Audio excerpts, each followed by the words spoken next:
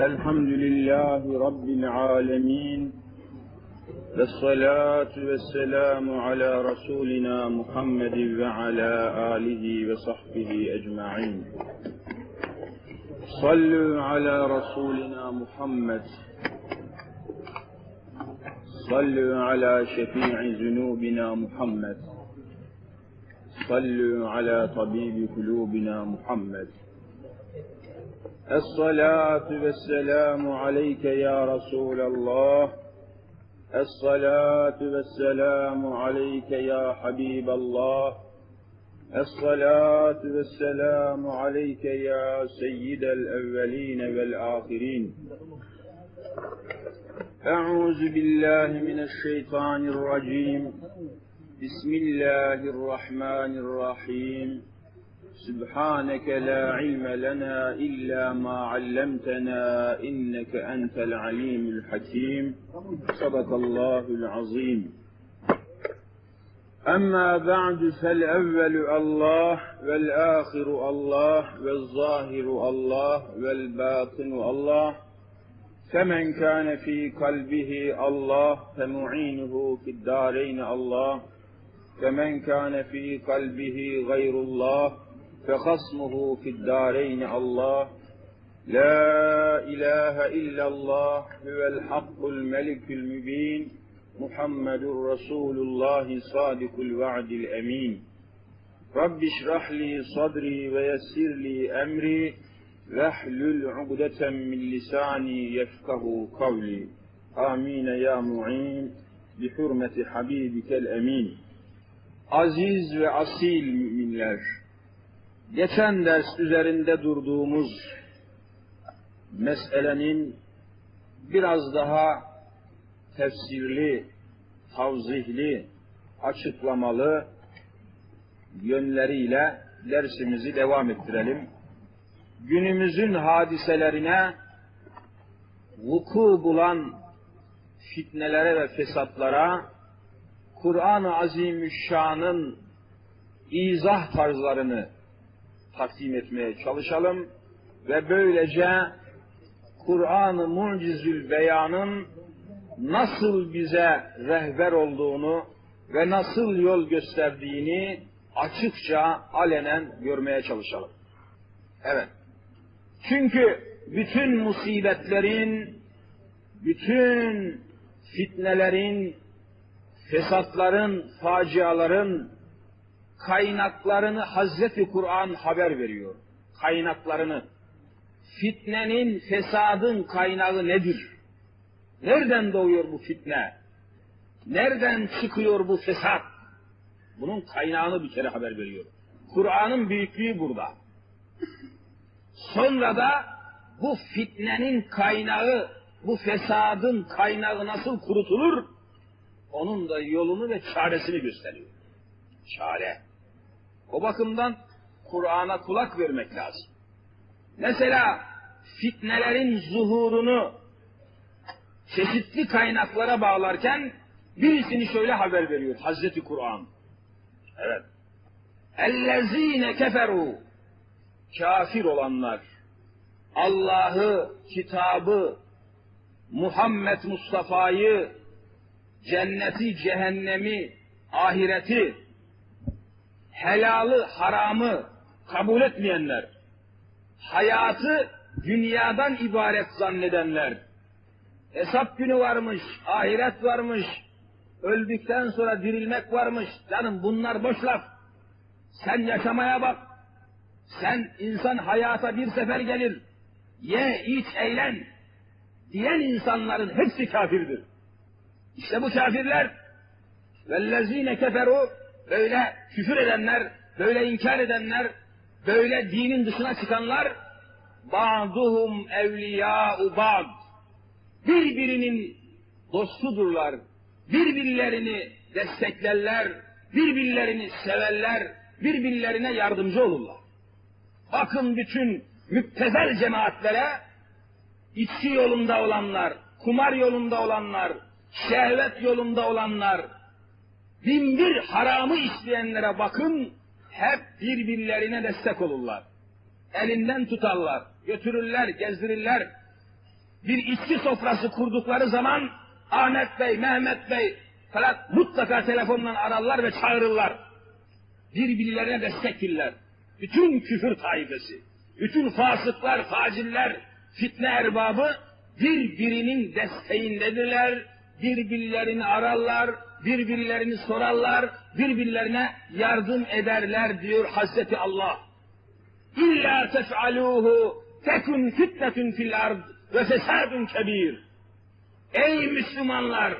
Siz birbirinize böyle yardım etmezseniz, destek olmazsanız, birbirini kucaklamazsanız, birbirine sevgi, saygı, birbirinize alaka göstermezseniz, o birbirini seven kafirleri, birbirini destekleyen gayrimüslimleri sizin başınıza bela ederim, fitne çıkarırım diyor abi. Başınıza bela eder. Ya başınıza onlar amir olurlar. Sizi kasıp kavururlar.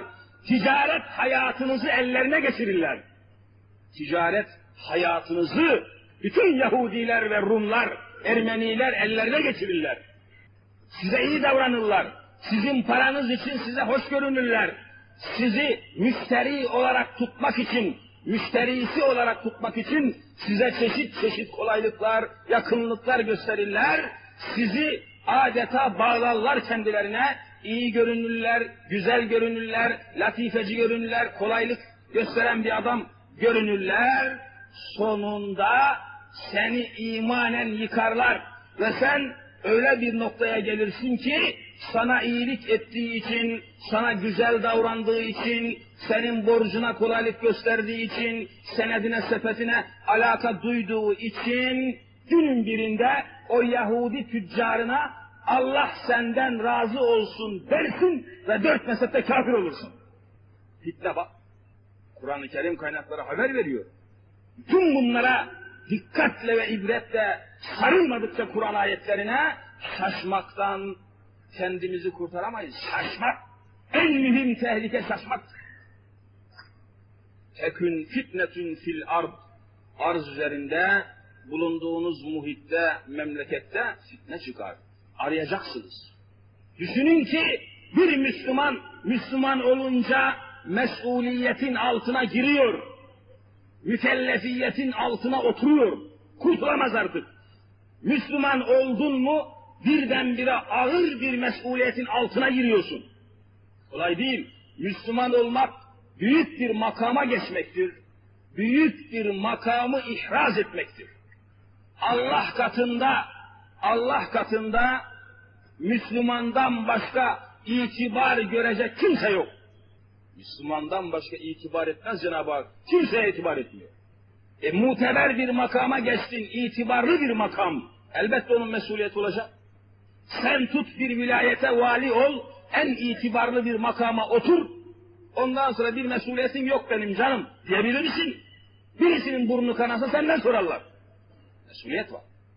Onun için Müslüman olunca mühim mesuliyetlerin altına giriyoruz. Haberimiz olsun. Nasıl mesela?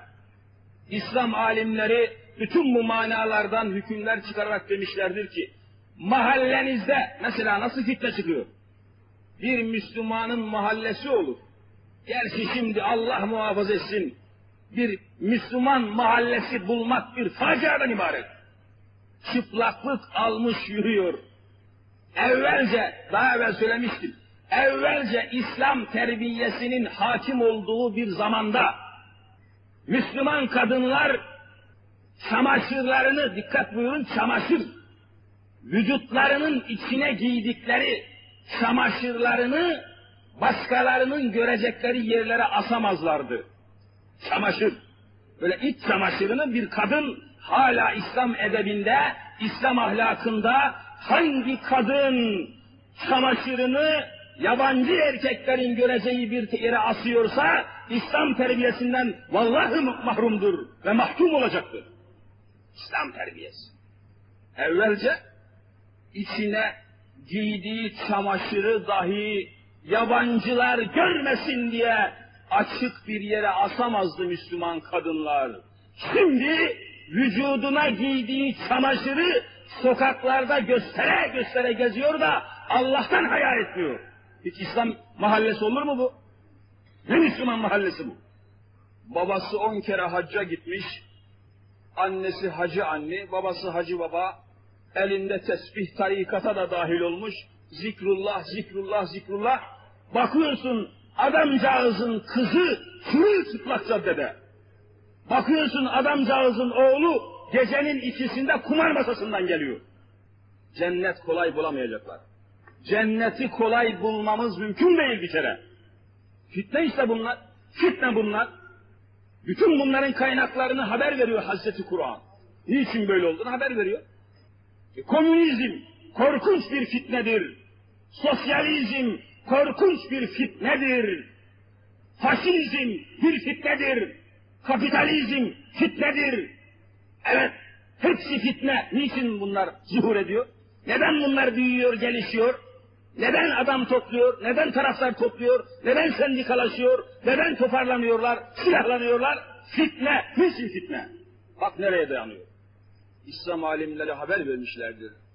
Buyuruyorlar ki bir mahallede müminler, Müslümanlar bir mahallede bulunurlarken o mahallenin ahvaliyle ahval, o mahallenin haliyle insanlarının tabi haliyle alakadar olacak.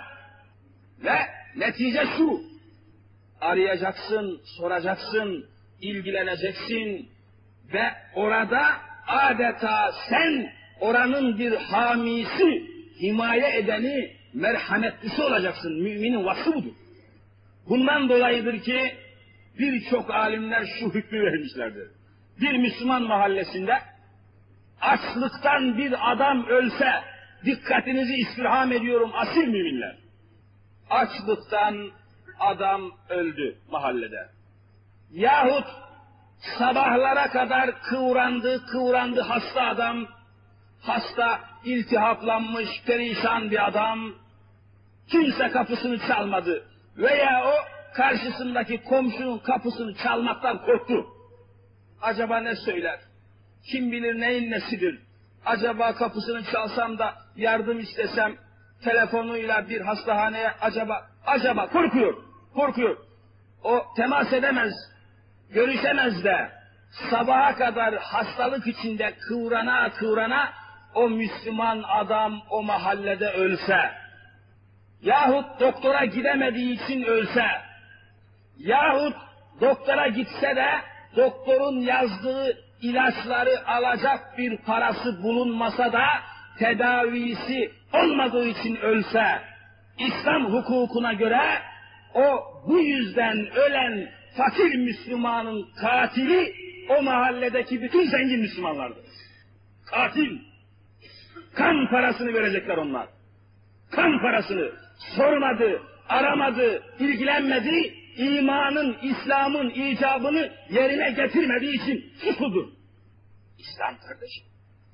Sen bunu yapmadığın için fitne çıkıyor. Sen bu fakiri, sen bu yetimi, sen bu zavallıyı arayıp sorup çekmediğin için geliyor komünizm o adamı kandırıyor. Bu fitne nereden çıkıyor? Senin benim dini İslam'ı tam tatbik etmeyişinden çıkıyor. Tam tatbik etmeyiş. Bunlar bizim elimizde olan hadiselerdir. Fitnenin nereden çıktığını bilmemiz lazım.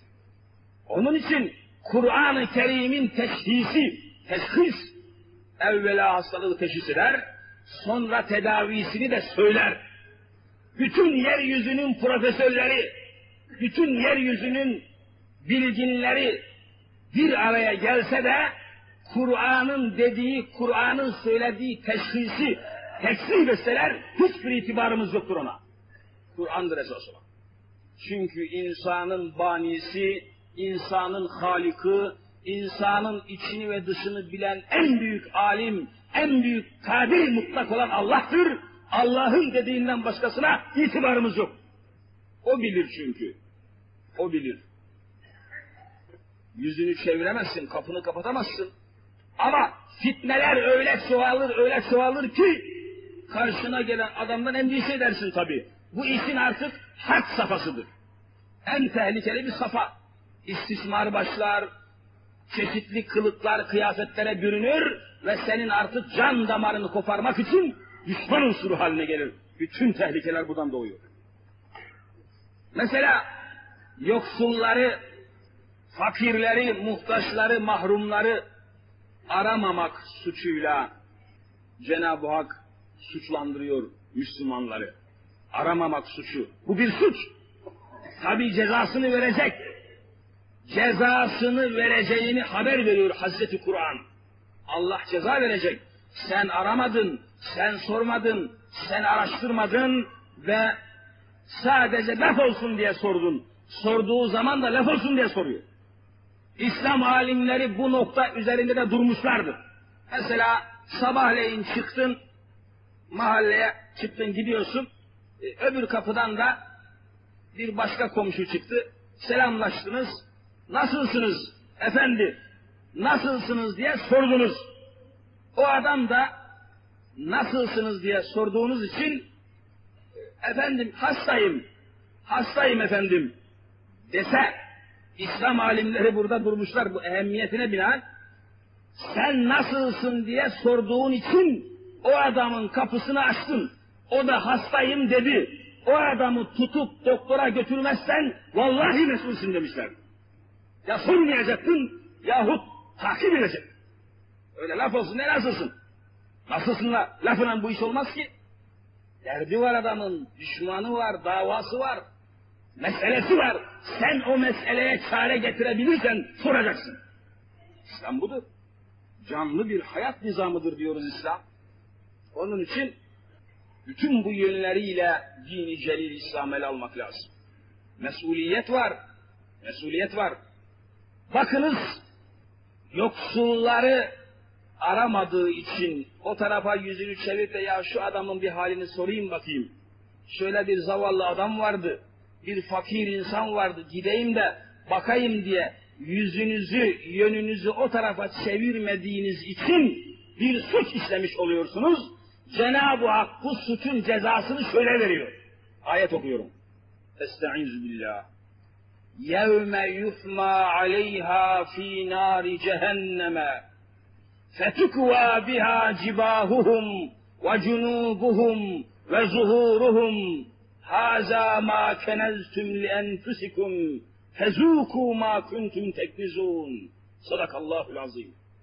Hazreti Kur'an haber veriyor diyor ki o yoksulları aramadığın için, sormadığın için, oraya bir teveccüh, bir tenezzül göstermediği için, yaklaşmadığın için, oradan yüz çevirdiğin için, oraya sırtını döndüğün için, dikkat, oraya sırtını dönüyor, hiç yaklaşmıyor. Yüzünü çeviriyor oradan. Yüz çevirdiğin için, o fakirin, yoksulun hakkı olan zekat paraları vallahi billahi tallahi o zekat paraları cehennem ateşinde kızdırılacak, kızdırılacak, kızdırılacak. Sonra o kızgın paralar fetukva biha cibahuhum o zekat vermeyen Müslümanın alnının ortasına yapıştırılacak diyor Kur'an-ı Kerim. Kur'an bu. Niye alnının ortasına, niye yüzüne yapıştırıyor? Sen yüzünü çevirdin. Suçu buradan işledin. Yüz çevirmek suçunun cezası yüzünün ortasına o damga gibi kızgın ateşi oturtmaktır. Ceza bu. Suçun cinsinden veriyor Cenab-ı Hak. Suçun cinsinden. Ve cunubuhum yan taraflarına böyle yapıştırılacak. Çünkü yan çizdin. Yan çizdin. Hani yan çizmek tabiri vardır. Yoksulu gördün, muhtaç adamı gördün, yan çizdin geçtin. O yanına Allah damga damga kızgın ateşi yapıştıracaktır. Cibahuhum ve cunubuhum. Cemp yan demek. Ve zuhuruhum. Zuhur zahrın cemidir ki sırt demektir. Sen sırtını çevirdiğin için, sırtını oraya dayamadığın için, tam sırtını çevirdiğin için sırtına kızgın kızgın o şeyler ateşte kızarılmış, kaynatılmış, kızdırılmış olan şeyler yapıştırılacak diye Hazreti Kur'an haber veriyor. Vallahi aynı haber tahakkuk edecek ve kimse bundan kurtulamayacak. Kurtulamayacak. Aramak lazım. Yoksa fitneler daha kat kat büyüyecektir, kat kat çoğalacaktır ve artık hiç kimse evinden ve ailesinden zerre kadar emin olamayacaktır. Sokağa oğlunuz bakın eskiden bu kadar yoktu. Eskiden işte şehirlerin dışına şehirlerin dışına gönderdiğiniz zaman bile bu kadar korkunuz yok. Gider gelir elhamdülillah. Her şey iyi. Şimdi evinizden çıkan çocuk ortaokula, liseye, üniversiteye hatta ilkokula bile nereye gidiyorsa evinizden çıkar çıkmaz korkuyorsunuz. Eyvah! Ne olacak bu çocuk? Bak fitne geldi kapımıza dayandı. Eskiden bu kadar yakın değildi. Çocuğunuzu okula gönderiyorsunuz, eyvah ne olacak? Hangi komünist öğretmenin eline düşecek? Acaba ne söyleyecekler? Sağ mı, sol mu, pat, tut, silah, mermi, tabanca, kavga, ne olacak? Bir korku. Fitne bak. Geldi evine dayandı. Çocuklarını sardı şimdi senin. Kız mekteplerine bakınız, kız mektepleri. Kız lisesi, kız, kız, kız, kız mektepleri. Kız mekteplerinin önünde bir sürü polis bekliyor. Ya o polisin ne işi var bu mektep burası kardeşim?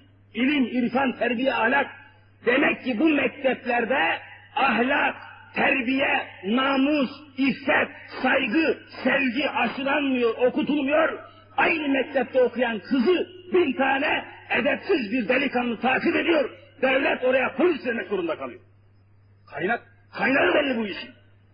Kaynağı belli. Sen öyle dine, imana, Kur'an'a, Muhammed Mustafa sallallahu aleyhi ve selleme teveccüh etmezsen, mekteplere sokmazsan, okullara sokmazsan, işte oraya polis göndermeye mecbur olursun. Niye polis gönderiyorsun okulun kapılarına, kız mekteplerine? Ne oluyor? Hani bunlar kardeş olacaktı? Hani bunlar münevver olacaktı? Yalan. Hepsi görüyorsunuz ki tatbikatın ters işlemesi yüzünden yanlış bir sonuç veriyor. Fitne buradan doğuyor. Arayacaklar, soracaklar ve bulacaklar. Allah'ın dediği olacak. Allah'ın dediği olacak. Adam, adam en basit şekliyle dükkanının kapısına Allah'ın dediği olur levhasını asmış. İçeride hiç Allah'ın dediği olmuyor. İçki satıyor herif. İçki satıyor dükkanda. Allah içkinin düşmanı. Allah içkiyi haram etmiş. Allah içkiyi satmayı haram etmiş. İçki satışını haram etmiş. O adam satıyor. Hem de kapısında Allah'ın dediği olur diyor ve Allah'la alay ediyor. Allah'la alay ediyor. Kardeşlerim, bütün bunlara dikkat etmedikçe gerçek Müslüman olmaya imkan yok görüyorsunuz. Bir sapıklık oluyor bu. Sapmış. Adam hakiki Kur'an ölçüsünden sapmış oluyor. Evet. Demek ki işlenilen suçun cinsinden fitne zuhur ediyor. Biz çocuklarımızı terbiye etmediğimiz için şimdi çocuklar bizi terbiye etmeye ve zulüm etmeye başlamıştır. Suçun cinsinden ceza. O gün çok Müslüman, mümin, efendi, hacı efendi bir yakınımın evine gitmiştim. Halini hatırını sorayım, görüşeyim diye evinde oturuyorum. Henüz gelmemiş adam.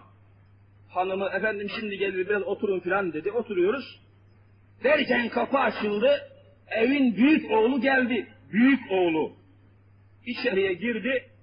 Anne ses. Buyur. Efendim oğlum. Bizim moruk gelmedi mi diyor. Bizim moruk daha gelmedi mi? Tüylerim böyle ürperdi yerde. Beytullah'ı görmüş olan bir babaya moruk diyor. Ya dedim ki kime söylüyor bunu? Babasına söylüyor dedi. Babasına söylüyor. Babasına söylüyor. Bizim moruk gelmedi mi? Aman ya Rabbi. Açtım. Lügat kitaplarına baktım ki moruk demek moruk demek Avrupa lisanında ihtiyarlamış domuz demek. İhtiyarlamış domuz diyor babasına hain. Hain nesil. Niye bu hale geldi? Biraz daha araştırdım ki bu hacı efendi daha bir gün olsun o yavrunun elinden tutup camiye getirmemiş. Kur'an'a yaklaştırmamış. Muhammed Mustafa'yı tanıtmamış. namazı, niyazı göstermemiş. Sabah işine gitmiş, akşam işinden gelmiş. Sabah işine gitmiş, akşam evine dönmüş. O çocuklarla bir nefes meşgul olup dinini, imanını okutmamış. Şimdi o çocuk işlediği suçun cinsinden başına bela olmuş. Gördün mü suçu? Arz et, çek cezanı şimdi. Çek cezanı şimdi. Bu anarşistler de böyle. Anarşist devleti yıkmak istiyor. Anarşist devleti yıkmak istiyor. Anarşist bankalara hükümet durmadan anarşizmin hedefi devleti yıkmak. Niçin? Kardeşim sen bu anarşist gençleri ilkokulda, ortaokulda, üniversitede okuttun. Okuttun ama binlerce Yunan filozofunun, Yunan, Aristo, Sokrat, Eflatun, Descartes, Mekart, Zar, Zul, binlerce kafir Yunanlı filozofları mekteplerde okuttun, onlara öğrettin de bir gün Muhammed Mustafa'yı okutmadın. Okutmadın, okutmadın. Çek cezanı, çek cezanı. Suçun cinsinden ceza geliyor. Hiç kurtuluş yok. Bir gün Hazreti Ömerül Faruk'u okutmadın. Bir gün Ebu Bekir Sıddık'ı okutmadın. Bir gün Evliyaullah'ı sokmadın. Bir gün Enbiyaullah'ı zikrettirmedin. Çek cezanı. Çekeceksin. Hazreti Ömerül Faruk dedim de aklıma geldi. Ondan bir sahneyi arz etmeden geçmiş. Meselemizle alakalı tabi. Malumunuzdur ki Hazreti Ömerül Faruk devlet başkanıydı. Halifeydi, emiril müminin idi. Medine'de bütün şarka ve garba uzanan İslam ülkelerinin devlet başkanıydı. Cenab-ı Ömerül Faruk radıyallahu teala an. Evet. Devlet başkanı tabi. Her şeyden mesul. Her şeyden mesul. Bir gün Yemen tarafları vilayeti teftişe çıkar. İstirham ediyorum, bütün halisiyetinizle dinleyiniz, samimiyetinizle kulak veriniz. Hiçbir endişe taşımayınız. Hiçbir endişe yok. Bu mukaddes kürsüde yalnız Allah'ın, yalnız Muhammed Mustafa'nın, yalnız ona tabi olanların bahsi geçecek. Burada asla ve kat'a sefil ve rezil siyasetin bir tek kelimesine meydan yok. Bura mukaddes kürsüdür. Bura mukaddes kürsü. Burada Allah'tan başka bahis yok. Burada şahıslardan, şehvetlerden, keyiften, propagandada arkadaşları da var. Yemek de ne ki? Öyle kelli felli mükellef bir şey yok hani. Bir tasın içinde bal şerbeti, bir de beyaz buğday ekmeği. O zaman çok zor bulunuyor bunlar. Beyaz buğday ekmeği yemek mümkün mü? Şimdi çöp sepetlerine atıyorlar. Düşünün ki yediği ekmeği çöp sepetine atan bir millet iflah olamaz, iflah olamaz. Çöp sepetine atıyor. Ahlak mahrumu adam. Buyurun ya Ömer, buyurun karnınızı doyurun dedikleri zaman Hazreti Ömer şöyle sarsılmıştır. Ben devlet başkanıyım. Ben emir mümininim. Şimdi söyleyin bakayım bana. Bu vilayette, bu şehirde en fakir insana kadar, en fakir insana kadar herkes bu bal şerbetini bulup bu buğday ekmeğini bulup yiyebiliyor mu? Herkes bunu bulabiliyor mu? Herkes satın alabiliyor mu? Cevabında dediler ki nerede ya Ömer? Bunu nerede herkes bunu bulamaz? Herkes bunu yiyemez diye cevap alınca Hazreti Ömer'in cevabı şu olmuştur. Evet bir devlet başkanı ben devlet başkanıyım diyor. Hazreti Ömer'den bahsediyoruz. Bir devlet başkanı bulunduğu memleketin en fakirinin yediğini yemedikçe, en fakirinin giydiğini giymedikçe, en fakirinin haline vakıf olmadıkça o devlet başkanı zalimdir demiştir. Anlayışı görüyor musun? İşte budur, budur kurtuluşun sırrı ve hikmeti. Ve yememiştir, kaldırmıştır onu huzurundan. Bana arpa ekmeği getirin bakayım. Fakirlerin yediğini getirin bana. İnsaniyet ve İslamiyet budur. Öyle zulüm edeceksin. Üst katta şehvet kaynayacak. Alt katta ızdırap kaynayacak. O memlekete huzur gelecek, kalkınacak. Yalan. Hepsi yalan bunların. On sene aynı apartmanda oturuyorsunuz da üst kattaki komşunuzdan haberiniz yok. Hiç böyle memleket olur mu? On sene bir mahallede oturuyorsunuz da karşınızdaki evden çıkan adamı tanımıyorsunuz. Böyle memleket kalkınamaz. Öyle memleket olur mu hiç? Hazreti Ömer işte bu mesuliyet şuuru altında bir gün yanına Hazreti Abbas'ı alarak gece yarılarına doğru sokak sokak dolaşmaya başlar. Bakayım ağlayan, inleyen, feryadı figan eden var mı? Şikayet eden var mı? Sızlayan var mı? Ezilen var mı? Üzülen var mı? Gecenin karanlığında gölge gölge Hazreti Ömer kapı kapı dolaşmaktadır. Herkesin haline vakıf olmak için. Ya bizzat kendisi yapar yahut devriyeler çıkarır ve bir bir Müslümanların ıstırabını takip eder. Yine bir günde tebdili kıyafet etmiş, yanına Hazreti Abbas'ı almıştı. Medine'nin mahallelerini gezdiler, nihayet şehrin dışına çıktılar. Allah aşkına aziz ve asil kardeşlerim, münevver Müslümanlar, kulaklarımızı verelim, Allah namına dinleyelim, Muhammed Mustafa şanına dinleyelim. Aleyhissalatu vesselam. Şehir dışında yırtık pırtık bir çadır, çadır, içinde böyle ufacık bir ışık yanan, zayıf bir lamba, ışık bulunan bir çadır gözlerine ilişti. Allah Allah bu çadır ne? Hiç de görmemişiz. Yaklaşalım bakalım. Neyin nesidir bu çadır? Galiba içinde insan var. Yaklaşırlar. Yaklaştıkça bir figan, yaklaştıkça bir velvele, yaklaştıkça bir feryadu figan. Allah Allah. Nedir bu ses? İçeriden bir sürü çocuk açız, açız, anne çok açız diye bağırıyorlar. Açız anne, açız anne, açız anne diye bağırıyorlar.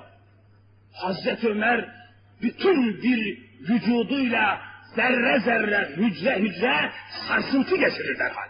Allah Allah! Nasıl olur bu? Kim bunlar?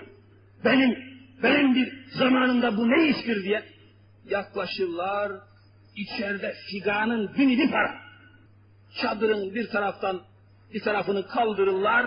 içeriye girerler ki aman ya Rabbi ihtiyar perişan bir kadın yaşlı saçları dökülmüş gözünden yaş aka aka kan çanağına dönmüş bir kadın. Birisini kucağına basmış, birisini bir dizine yatırmış, birisini bir dizine yatırmış.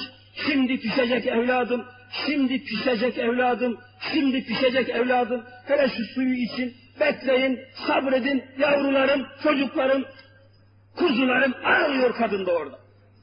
Birdenbire manzaranın karşısında çarpılmışa döner Hazreti Ömer. Bir kadın sen kimsin? Bu ne? Bu ne oluyor burada? Hiç ses yok. Bunlar ne istiyor? Görmüyor musun? Aç diyorlar. Beş gündür ağızlarına bir şey koymadı bu yavrular. Suyla idare ediyorum. E peki pişecek diyorsun. Şimdi pişer, şimdi pişer dediğin ne? Bak bir şey kaynıyor orada hafif bir ateş. Aç bak bakalım. Göreceksin ne olduğunu deyince Hazreti Ömer kapağını kaldırır ki içeride çakıl taşları kaynıyor. Çakıl taşları kaynıyor. Avutuyor çocukları zavallı. Avutuyor çocukları. Bunun üzerine Hazreti Ömer hüngür hüngür ağlar. O heybetli, dehşetli adam. Bir de kadın sen kimsin? Ben Bedir Harbi'nde şehit olan falancanın karısıyım. Allahu Ekber. Bunlar kim? Bunlar da çocuklarım, yetimlerim benim. E sen niçin halifeye gelmedin? Sen niçin Hazreti Ömer'e başvurmadın? Tanımıyor tabii. Emir-i müminine niçin müracaat etmedin? Niçin halini arz etmedin? Ne söylemedin? Cevap, Ömer de kim oluyormuş? Benim kocam daha büyük bir insandı. Ben dilenemem, ben dilenci, dilencilik edemem, yüreğinin yağını emerim, kimseye yanaşmam dedi kadın. Müslüman, haysiyet misal. Eğer Ömer devlet başkanıysa gelip beni bulması lazım. Beni şimdiye kadar aramadı. Ey Ömer, Allah seni kahretsin dedi kadın. Bir boşandı ağlamaya başladı kadın. Ömer de orada tanımıyor tabii. Daha Ömer durabilir mi orada? Ömer yıkıldı, Ömer çarpıldı, Ömer ezildi, mahvoldu orada. Hemen sokağa çıktı. Ne duruyorsun Abbas? Ne duruyorsun? Duymadın mı kadının sözünü? Bir tufan olacak o gözyaşları. Bizi imha edecek ya Abbas. Durma çabuk. Derhal Beytülmale hazineye koştular. Ağır bir un çuvalı, bir de bir testi zeytinyağı. Hazreti Abbas'a emrediyor. Ey Abbas şu ağır bu un çuvalını sırtıma kaldır bakayım. Sırtıma kaldır. Gecenin karanlığı kim kime herkes yatıyor. Herkes asude, huzur içinde, mutmain içinde. Olmaz ya Ömer sen bir halifesin. Sen bir devlet başkanısın. Nasıl sırtında bu un çuvalını götürürsün? Ben alayım, ben alayım. Benim sırtıma. Hayır, hayır, hayır ya Abbas. Kadının söylediğini duymadın mı? Günahlarıma kefaret olsun. Sırtıma ver şu çuvalı. Ezile ezile yıldızların altında karanlık bir caddeden sürüne sürüne geçerler Hazreti Ömer. Ve yanında yağ testisiyle Hazreti Abbas radıyallahu teala anhuma giderler böyle kan ter içerisinde, kan ter içerisinde ıhlaya ıhlaya o sıcak mevsimde çadırı tekrar bulurlar. Figan kesilmiştir. Allah Allah niçin ses gelmiyor? İçeriye girerler ki çocukların ağlamaya da dermanı kalmamış hepsi bir hal içinde yatıyorlar. Öyle yatmışlar perişan, yırtık pırtık bir manzara. Dilenemez Müslüman. Sen arayacaksın. Müslüman dilenemez. Dilenenlerin hali meçhuldür. Müslüman kendisi arayacak. Devlet arayacak. Hükümet arayacak. Yoksa aramadığınız, sormadığınız insanların kini, intikamı, ıstırabı, fitnesi, fesadı bütün memleketi komünist rejimin altına vallahi götürür. Götürür. Hiçbir şey önleyemez. Hiçbir anayasa önleyemez. Çocuklar sere serfe yatmışlar. Kadın da öyle dalmış kalmış.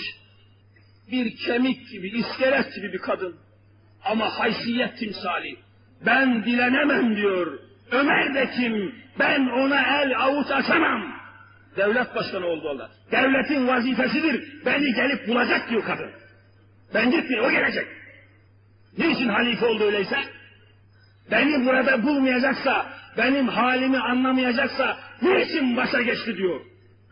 İslam. Kurban olduğum İslam. Şu dini celili İslam için, şu Kur'an-ı Azimüşşan için vallahi bütün kainatın göz önünde böyle canımı seve seve vermeye hazırım. Hiçbir beşerden en ufak bir korku taşımıyorum. Böyle bir dine kurban olunmaz mı? Böyle bir Muhammed Mustafa'ya, böyle bir insana, böyle bir nizama can verilmez mi? İnsani nizam, insan dini, insan dini, İslam dini. Efendiler kendimize gelelim, kendimize gelelim, iman ettiğimiz İslam'ı, iman ettiğimiz Kur'an'ı anlayalım. Evet, hemen, hemen kadını uyandırır Hazreti Ömer. Ey kadın, ihtiyar kalk bakalım. Kalk. Şu çanağın içindeki çakıl taşları at bakayım. Atarlar. E, ateş de sönmüş tabi. Ateş de sönmüş. İçerisi işsiz içerisinde perişan hemen bir miktar zeytinyağı, bir miktar un çöpüyle karıştırmaya başlar ama ateş yanmıyor. Nereden bulacak yakacak? Orada hemen etrafı kolasan ederler. Üç beş ağaç parçası, hurma parçası ateşi yakar. E ateş de yanmıyor. Hazreti Ömer yere çömelir, sakalı yeri süpüre süpüre ateşi nefesiyle yakar. Ya, ya Ömer bırak ben yakayım şu ateşi. Ben yakayım şu ateşi. Çekil sen. Dediği zaman Abbas, hayır Abbas, ben bu ateşi yakmazsam, ben bu çocukların feryadını kesmezsem, cehennem ateşi beni mahvedecek. İman ya Rabbi, iman ne güzel şey ya Rabbi. İnanmayan insan ne korkunç bir bela ya Rabbi. İman, herkes aynı imana sahip olacak. Yemek pişer, sıcak sıcak. O çocuklar da zor zor uyandırılır, gözlerinde yaş kalmamış, dermanları bitmiş, oturmaya mecelleri yok çocukların. Hemen çanak indirilir, kaşık kaşık ne buldularsa o yavrulara birer birer yemeklerini yedirir Hazreti Ömer. Yedirir, şöyle yüzlerine bir can gelir çocukların, bir neşe doğar, bir gül gibi yüzlerinde bir tebessüm belirir, feryat kesilmiştir, figan kesilmiştir, velvele bitmiştir, şöyle bir beşuş bir çehreyle Hazreti Ömer'e doğru bakarlar. Sen kimsin? Siz kimsiniz? Kimsiniz siz? Yarın hükümet makamına gelip orada görünüz. Söyleyemez ismini Cenab-ı Ömer orada. Kimliğini söyleyemez. Öyle bir sahne ki. Onun üzerine çekip çıkarlar. Ertesi gün kadın, kadın doğru gelir makama. Bir de bakar ki akşam sırtında un taşıyan, un çorbayı pişiren, ateşi yakan, çocukları doyuran, gözünden yaş akıtan Hazreti Ömer oymuş o. O da çarpılır, o da çarpılır. Onun da sonunda Hazreti Ömer der ki, şimdi beni affettin mi? Şimdi beni affettin mi? Böyle adil olursan affederim. Adaletini göstermezsen cehennemden çıkmamana dua ederim ya Ömer. Kadın, haysiyet timsali kadın. Efendiler ancak bu sayede fitnelerin, fesatların önü kesilebilir. Yoksa hiçbir tedbir çare olamayacak.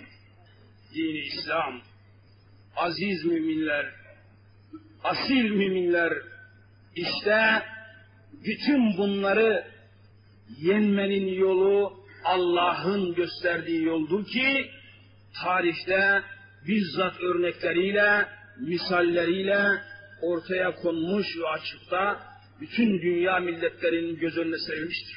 Müslümanlar evet kendi dinlerine sahip çıkmadıkça, kendi Kur'anlarını anlamadıkça hiç unutmuyorum nasıl da bir fitne zuhur ediyor.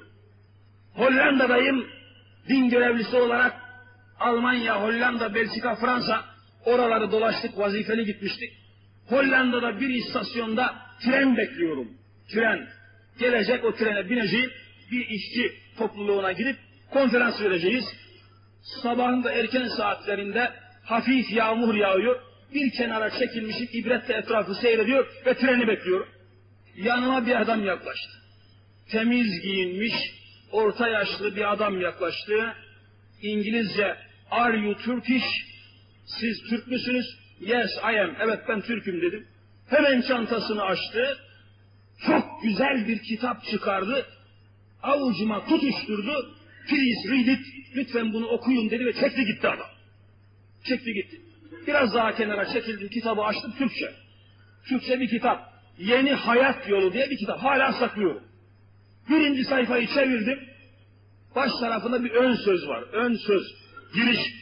Orada diyor ki, ey Türk işçisi, senin iman ettiğin İslamiyet, senin iman ettiğin Muhammed isimli peygamber, senin iman ettiğin Kur'an, işte seni fakir bıraktı, fakir bıraktı, fakir bıraktı, seni Avrupa'ya köle yaptı diyor.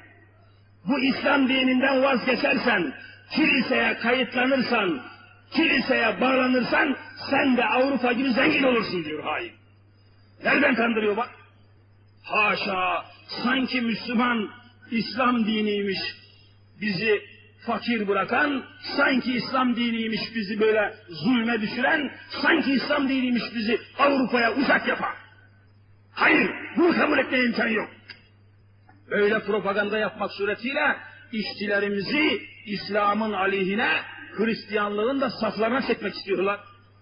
Neden bu? Müslümanın uyuşukluğundan, Müslümanın gafil oluşundan, Müslümanın dinini bilmeyişinden, Müslümanın kendini tanımayışından asıl oluyor. Ve orada yakinen gözlerimizle gördük. Akşamleyin işçinin kaldığı pansiyona geliyorsunuz, kapıyı açamıyorsunuz. Kapının ardında yüzlerce kitap. Böyle orada kapılarda böyle bir aralık var, mektup atar gibi kitap atıyorlar. Gazete, broşür, kitap, el, el ilanı, kapıyı açamıyorsun. Şöyle zorluyorsun, arkaya bakıyorsun bir çuval kitap. Gel Hristiyan ol, ey Türk işçisi gel Hristiyan ol, gel Yahudi ol, kiliseye kayıtlan, şuraya gir, şurada toplantı var, durmadan çekiyorlar. Dinini bilmiyor ki. Dininin hakikatini bilmeyen topluluk iflah olur mu? Ve elbette köle olmak durumunda elbette yok olmanın eşiğinde olacak tabi. Evet, şimdi bir ayet-i celileyi de arz edip dersimizi toparlamaya çalışalım ve Allah nasip ederse Cenab-ı Rabbil Alemin imkan verirse sizlerin gayretiyle, rağbetiyle, desteğiyle, alakasıyla derslerimiz devam edecek ve hiçbir fitneye fesada düşmeden, hiçbir menfaate, hiçbir hissiyata düşmeden ve uğramadan Allah ve Muhammed Mustafa namına bu dersler devam edecektir. Cenab-ı Hak cümlenizi iki cihan saadetine mazhar eylesin. Amin. Memnuniyet verici, saadet verici bir tablomuz vardır. Allahu Azimüşşan'a şükürle borçlu bulunuyoruz. Efendiler, Kur'an-ı Azimüşşan ne güzel haber veriyor. Ne güzel bir haber. Sanki sabahleyin nazil olmuş bir taze bir ayet-i kerime. Taze bir ayet, canlı bir Kur'an ayeti. Estaizu billah, Nahil suresinin Nahil, Nahil suresinin 112. ayet. Kur'an-ı Kerim'de biliyorsunuz 114 sure vardır. Surelerin isimleri var. Surelerin isimleri vardır. Ehemmiyetine binaen Cenab-ı Hak surelere isim vermiştir. Nahil, bal arısı, bal arısı ehemmiyetli bir varlık olduğu için onun adına bir sure. Nemil, karıncanın ehemmiyeti, karıncanın insanlara ibret olması cihetiyle onun namına bir sure. Suretün Nemil, karınca suresi. İbret var, hikmet var, sır var, insanların alacağı mühim meseleler var. Nedir mesela? Hemen ayet okumadan oraya geçeyim. Karıncalara dikkatle bakınız, insanlara büyük ibretler ortaya çıkaracaktır. Nitekim bu mesele üzerinde çalışmış bulunan ilim adamları haber veriyorlar. Bende yine bir mühim bir kitap var. Hayvanlar Alemi diye mühim ilim adamlarının incelemesini ihtiva ediyor. Orada karıncalardan şöyle bahsediyor. Bir karınca yolda giderken bir ekmek parçasına rastlıyor. Bir dilim ekmek. Kocaman bir ekmek parçası. Hemen o ekmeğe yaklaşıyor, o ekmek kırıntısına yaklaşıyor, onu tutup kaldırmak istiyor. Fakat gücü yetmiyor. Gücü yetmiyor diye vazgeçip gitmek yok. Arka tarafa geçiyor, arkadan kaldırmaya çalışıyor. Oradan başa çıkamazsa yana, yan tarafa geçiyor. Alta geçiyor, üste çıkıyor. O ekmeği her taraftan keşfediyor. Kaldırabilirse kaldırıp götürüyor. Kaldıramazsa hemen şöyle kafasında iki tane boynuzcuk var diyor, boynuzcuk. iki tane kıl boynuz. Onu birbirine vurmak suretiyle bir de bakıyorsunuz ki nereden çıktığı belli olmayan binlerce karınca orada peydahlandı. Toplandı orada. Haydi bir işbirliği hepsi beraber Allah ekmeğin altından girip ya Allah tutup yuvalarına götürüyorlar diyor. Nasıl oluyor bu? Neyle bunu yapıyorlar? İlmi araştırmalar şu neticeyi vermiştir diyor. Elektromanyetik dalgaların, elektronların ve manyetik dalgaların keşfinden sonra şu hakikat ortaya çıkmıştır ki o karıncaların başında aynen radyo anteni gibi boğum boğum iki tane boynuzluk var. Uçlarında da böyle fırçalı fırçalı pürüzlü şeyler var. Orada havada birbirine çırpmak suretiyle o bulunduğu etraftaki manyetik dalgaları harekete getiriyor ve ilerideki bir karınca yuvasına oradan haber gönderiyor. Oradaki karıncalar da bu işaretle haberi alıyor. Derhal frekansını ölçüp oraya gelip hazır oluyorlar diyor. Cenab-ı Hak karıncaya, karıncaya bu teşkilatı bahşetmiş, işbirliği idrakini vermiş, beraber yaşamanın toplu bir halde hayat idame etmenin yollarını göstermiş, incecik kafalarına radyo anteni gibi haberleşme cihazını rapt etmiş, monte etmiş de sen gibi bir insana bunları vermemiş mi? Sen demek ki insani ve İslami hükümlerden uzak kaldığı için Avrupa'nın emrine uzak olmaya düşüyorsun. Karıncaya verdiğini insana vermez mi Allahu Teala?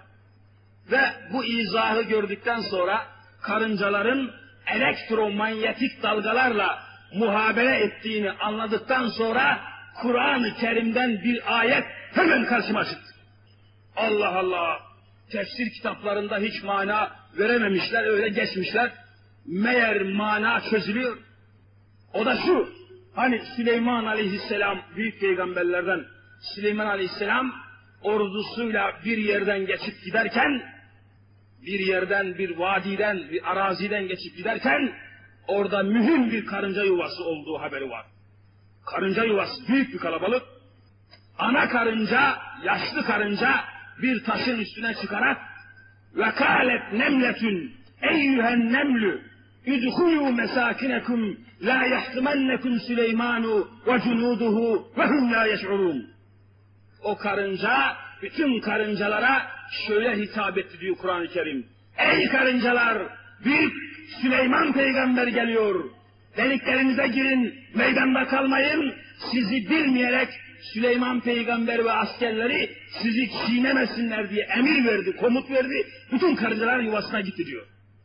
Demek ki haberleşme metotları var, demek ki teşkilatları var, cihazları var, meseleler var. İnsanoğlu çalışırsa, insanoğlu araştırırsa, insanoğlu evet akıl ve şuurunu kullanırsa, bir de Allah'ın dediğine, Kur'an'a bağlı kalırsa, yerlerin ve göklerin fatihi olur. Fatihi olur, sürünmez. Evet. Aziz müminler, bütün fesatların ve fitnelerin kaynağını Kur'an-ı Kerim haber veriyor dedim ve çaresini, tedavisini, reçetesini de takdim ediyor Kur'an-ı Kerim dedim. Bunun bir ayetini de naklederek nihayete geleyim. Estaizu billah. وضرب الله مثلا قرية كانت آمنة مطمئنة يأتيها رزقها رغدا من كل مكان فكفرت بأنعم الله فأذاقها الله لباس الجوع والخوف بما كانوا يصنعون Sadakallahül azim. Kur'an-ı Kerim şöyle haber veriyor. Allahu Teala bir ülkeyi misal veriyor. Bir ülke, bir memleket, bir kariye misal, darbı mesel olarak veriyor. Misal veriyor ki kânet amineten emniyet içerisindeydi. Amineten emniyet içinde. Bir tek anarşist yoktu. Bir tek komünist yoktu. Bir tek belalı insan yoktu. Kânet amineten emniyet altında bir memleket. Ne korkunç bir cemiyet meydana geldi. Bütün apartmanların duvarlarına kadar sokulmak suretiyle yıkacağız, devireceğiz, mahvedeceğiz diye yazılar yaza yaza senin apartmanının etrafını çembere aldılar şimdi. Çembere aldılar. Sen hala uyuyorsun. Emniyet içinde bir memleket mutmainneten huzur içinde bir memleket. Herkes huzur içinde. Herkes emniyet altındaydı. Yetiha rizquha ragaden min kulli mekan. O memleketin rızkı, maişeti, ticareti, yiyecek her şeyi her taraftan bol bol geliyordu. Bol bol yiyorlar, içiyorlardı. Bol bol eğleniyorlardı. Fekeferet bi en'umillah Allah'ın nimetlerine karşı küfür ettiler. Küfran nimette bulundular. Allah bol miktarda şeftali verdiği zaman, dikkat, Allah aşkına dikkat edin. Bol miktarda şeftali verdiği zaman hemen orada şeftali üreticileri bir şeftali festivali düzenliyorlar. Çıplak bir kızı şeftali kraliçesi seçip Allah'a isyan ediyorlardı. Feteferet bi en'umillah.